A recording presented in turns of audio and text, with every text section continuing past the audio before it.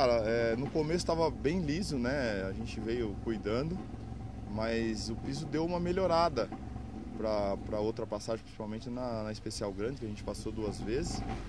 A gente baixou bem o tempo e pelos cálculos aí a gente está liderando o dia aí. A galera vem tendo problema, a água é complicada, né? Os carros acabam falhando e tudo mais, então foi bom, pra gente foi ótimo. Vamos tentar completar o rally nesse, nesse ritmo.